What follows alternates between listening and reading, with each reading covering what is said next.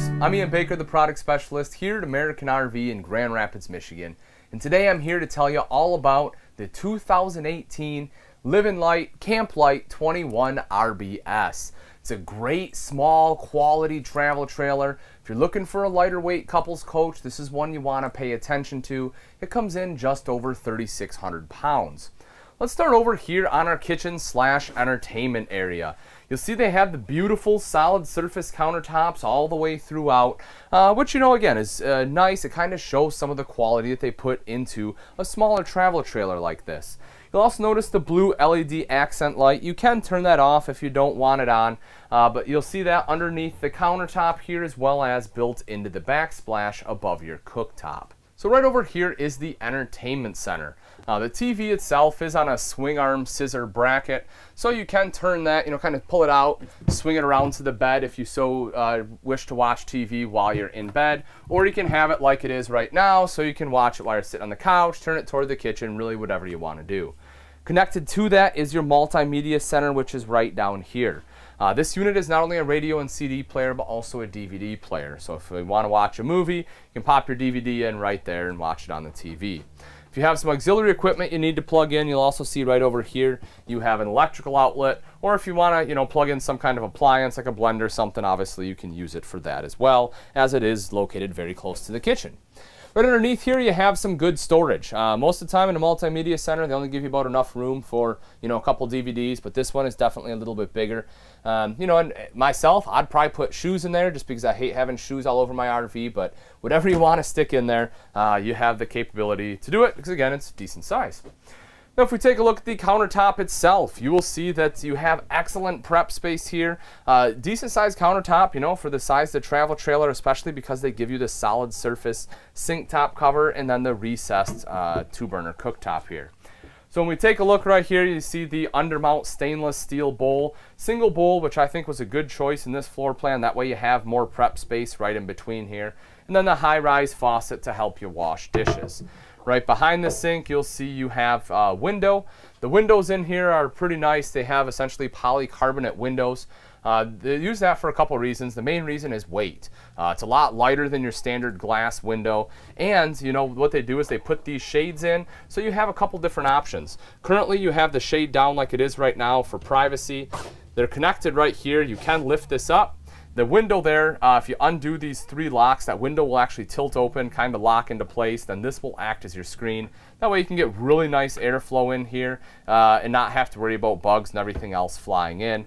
Or if you want, you can actually disconnect these. You can disconnect this right here, totally separate those, and then open your window up and again be able to, you know, transfer items back and forth or whatever you want to do there. Uh, but it does give you some different versatility with the windows throughout this RV. Right over to the side here is the backsplash. Uh, as I had mentioned previously, it does have the LED rope light in there. It gives it a pretty cool look. And then right here's your two burner cooktop. The top is glass again, so you can use that as prep space. Fold that up. It kind of doubles as a backsplash because you know the glass is uh, nice and easy to clean and help protect the decorative uh, glass piece a little bit better. And then your two burner cooktop is right there. If we take a quick look underneath some of the storage, Open this up for you. You see good storage underneath the sink. Plenty of room up top here for your cleaning chemicals. Uh, smaller space down below, but it is enough. You can fit a small trash can in there. Good storage right over here too. You know, if you want to use this for extra, I'd probably use it for extra pantry space for like my chips or Pop-Tarts or s'mores stuff, whatever else you want to put in here. Uh, but that is decent storage there.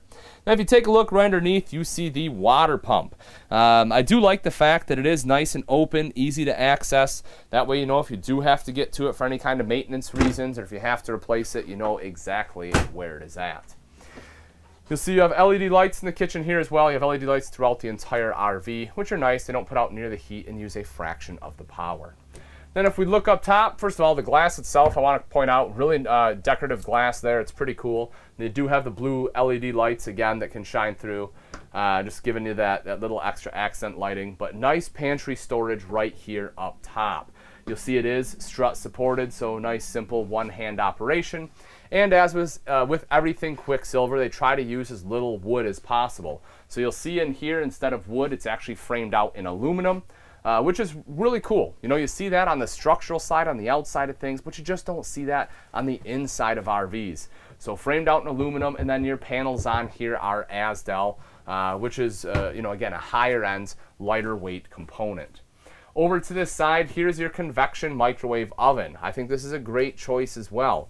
Uh, by foregoing your conventional oven, you get all this extra storage down here, and then you have uh, basically a two for one right here. The convection also cooks faster than your uh, regular oven, and it's nice and easy to clean.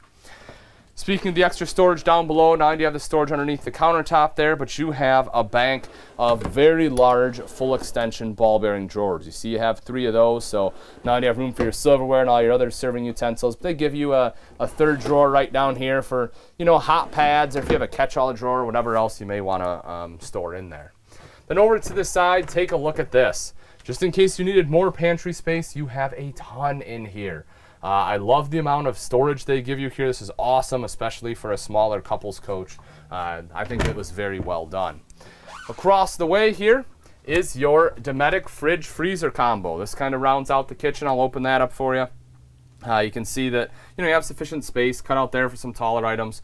You also have uh, some drawers down below. This unit does run off both propane and electric and also has automatic switchover. Then right up top here is a little bit of additional storage. Now, you know, again, just fully utilizing the space. Right in the back here is the bathroom. I'll open this guy up for you. We can take a quick look. In the bathroom here, take a look at the beautiful countertops. You have the solid surface countertops in the bathroom. They didn't cheap out here. Nice big countertop space as well, and an upgraded stainless steel bowl. You see the faucet there off to the side, electrical outlet behind that as well. Directly above, take a look at the storage. You have big storage in here. Uh, you know, on both sides, excellent linen closet, plenty of space for everything that you need to stick in here, your towels and some of your other bathroom accessories. Underneath the sink, you have some additional storage there. Great spot for, again, some of your cleaning supplies. Uh, you can see the water heater down below. And then off to the side here, even more storage. The toilet itself is a foot flush lever toilet. It does have a porcelain bowl. You know, they tried to make this light, but they still want to have nice quality components. And I definitely think that one is worth the extra weight. If we take a look at the shower here, you do have this nice curtain. Uh, the shower itself is, you know, fairly good size. I'm not a, the smallest guy ever. I can move around here. I can actually turn around if I have to. Uh, you have the hand wand here. LED light in here as well. Um, you know, a lot of manufacturers don't do that, and if you try to shower at night, it's really dark and hard to see, so I do like the fact they put that in there. And then directly above me is a skylight. Uh, I'm six foot. You can see, you know, my head's just kind of starting to creep into the skylight here. You probably have another two inches or so. Uh, so if you're really tall, you know, you probably have to bend over in the shower. But if you're, you know, six foot or shorter, it's just fine. Right out in the main living area here is your slide out. Uh, again, you know, fairly lightweight at just over 3,600 pounds. This really helps open the space up, make it nice and comfortable. The slide out sofa here is 72 inches long. Uh, so, you know, if you do need to uh, take a nap on there, have someone sleep on it, you can do that. And it is a jackknife sofa, so that does fold down. Also, right behind the sofa here is a table. So if you want to, you know, have a place to eat a meal, if you want to eat inside, maybe it's raining outside or you don't feel like eating outside, too hot, whatever it may be, you can set the table up right here and be able to enjoy that meal or play games. Now when you're done, again, fold it up and put it right behind the sofa here. You also have the nice big window right back there which lets in a lot of natural light. Quick look at the ceiling. You do have a big vent fan right here, which is really nice if you need to you know, create some cross ventilation and you don't want to run your AC, or maybe you just cooked some bacon, you want to quickly get the smell out, this will certainly do it. And then right over here is your AC. The controls for the AC are located right here on the AC itself. Let's take a look at the bedroom portion. Uh, one of the other things I really like about this and something I would expect in a quality uh, couples coach, especially a travel trailer like this, is the fact that they put in an actual 60 by 80 queen size bed. That's your uh, residential size. And, you know, again, in this style of floor plan and in this level of travel trailer, I think you have to do it. And I'm really glad they did. So if you're a taller person, you're sick of your feet hanging off, this is one you won't have that problem. They also have storage underneath. It's extremely easy to access. You see you have a couple struts here. An additional table there. You know, if you want to take that table outside or something, you can do that. Um, you know, just a nice secondary table. Then over on the sides here, uh, if we take a look, you see you have the nightstands. Underneath the nightstands, you have electrical outlet. On the one side, you have an electrical outlet. The other out, the other side here is one outlet and then dual USB port, so a little more dedicated to charging your electronic devices. But if you sleep with a CPAP machine or anything, you can use that on either side. You also see the accent lighting on the headboard. Uh, you know, that's a switch over here on the side. Again, you can turn that on or off. Both sides have nice big hanging wardrobe space. You can see that there, as well as storage up top. Again, that same cool decorative glass with the blue light behind it kind of gives it that accent. Now, I like what they've done with the pillows here too. You know, I, I know this is something that's uh, kind of minor, but I do like the pattern they use. You know, they, they put some pops of color in here to help kind of break up the grays. You have this side as well. Um, you know, and again, just uh, that nice little touch that I think really makes a difference. Now that we've seen the inside, let's take a quick look at the outside of the Livin Lite 21 RB. Right up front here, you have a power tongue jack. This, of course, makes it nice and easy to hook up or disconnect from the tow vehicle. Simply flip this switch here to raise or lower the tongue. Right underneath, you will notice the uh, light on there, so in case you need a little extra light at night, you can flip that on. Right behind that are your two 20 pound propane tanks with the cover. It's very easy to access those tanks. Just undo these two thumb screws here. Then you can lift up the door and get right down in there. Then behind that, you see the nice big rails here for your battery. You'll see how wide that is. That way you can have a couple batteries here. So if you do expect to be doing some uh, boondocking or dry camping, you can have that extra battery power. Then right underneath that is your spare tire. Hopefully you never have to use it, but in the event that you do, it is right there for you. Another cool thing about the uh, CampLite here is the uh, frame itself. You'll see it's an all aluminum frame there, which is great. Uh, not only does that help with some of the weight, but it still has excellent structural integrity and it won't rust out on you. Coming up the front is the black diamond plating. This will help protect the front end from some of the rocks and debris that get thrown up by the tow vehicle. So you come around to the side here, you can see the sidewall. Uh, this is the nice gray exterior. This one is a vacuum bonded, uh, vacuum bond laminated structure here. So uh, one of the great things about the uh, Livin Lite or CampLite products is that they try to use as little wood as possible. So uh, right behind this outside fiberglass, instead of having your Luan, which essentially is a plywood, they use Azdel composite panels. Uh, kind of saw that uh, inside when we went throughout, but it's very nice to have on the outside.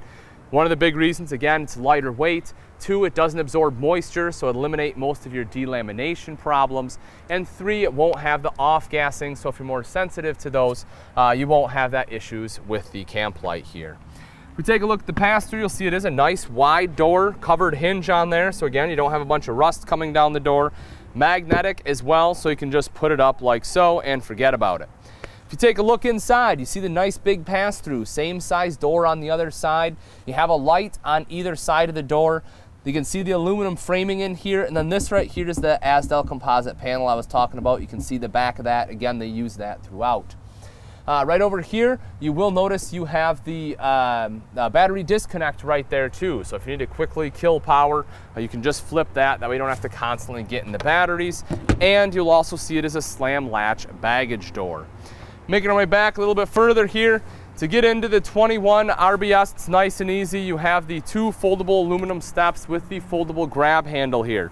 Uh, because you have the grip strips on there as well, even if it's you know raining or wet, you should still get good grip on the steps. And with the grab handle, you will have good control when entering or exiting. Plus, again, aluminum won't rust out on you. Uh, if you take a look up top, power awning on here, touch button to roll that out, same thing to have it go right back in, and you have an LED light strip underneath. So that way if you want to sit out here at night, you can just flip a switch to have lights. You don't have to worry about getting up there and hanging up your Christmas lights. Now, by all means, if you, you know you like your Christmas lights, you can still hang those up too, uh, but it is just a nicer, simpler option to have there. Two outside speakers, so if you want to sit out here and uh, listen to some music, you can do that. Those are controlled by the multimedia center inside, but that unit is Bluetooth capable. So if you sit out here underneath your awning with your tablet or your phone, you can control your music from right out here. If we take a uh, quick look at the wheels here, you see aluminum alloy wheels. Not only do those look nice, but once again, I know I'm beating a dead horse here, but they don't rust. Uh, also, you have nitrogen filled tires, which are nice. They help uh, retain the tire pressure for a longer period of time. Uh, another nice thing about it is you have easy lube axles and self-adjusting brakes. Uh, both of those are much easier on the maintenance side. You don't have to repack your bearings nearly as often.